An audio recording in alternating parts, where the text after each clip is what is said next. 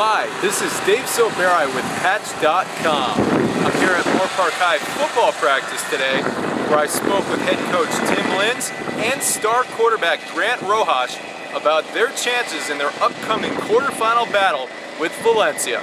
It's good to be still playing for sure, uh, but it's uh, it's also you know it's been a while since we've had a Thanksgiving home game, so uh, it's kind of exciting to be back home, and, and, and, hopefully a lot of our alumni will get out and uh, and watch us play. It's really exciting. You know, we have a lot of our alumni coming back this week. Like we have a lot of our older brothers and siblings coming back from college, and it's always been a lot of the alumni there. So it's exciting to play for them and let them know how we're doing. Moorpark is part of a very competitive Marmonte League, where the league went 5 0 in the playoffs last week. Well, it's really not a surprise. Uh, you know, I think I think uh, we may have been a surprise to beat Mira Costa, but. Uh, you know, with uh, with the level of our league, you know, at least from us, from our side of it, you know, we've played all those teams, and so we know how good they are. But uh, you know, if you're outside of the league, you might not, you might not, even though you, you see the publicity, you might not know the level of playing those type of teams year in and out. Yeah, it was pretty. It was pretty great to have an upset. But you know, our Marmontes, the Marmonte League, really prepared us for the playoffs and how many tough teams we play. So,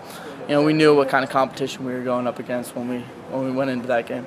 So, what do the Musketeers need to do to be successful against Valencia? You know, we knew Mira Costa would be tough, so we didn't really think beyond that too much. And, and now Valencia is a team that's going to be hungry, motivated to, to, to get after us uh, with our history. Just, you know, execute every play, you know, not let up, come out 100% from the beginning of the first quarter to the end of the fourth and not, you know, give them an inch. We have to continue our level of intensity. Uh, I thought we played well on both sides of the ball, and uh, you know, I think we have to maintain that level to, play against this team.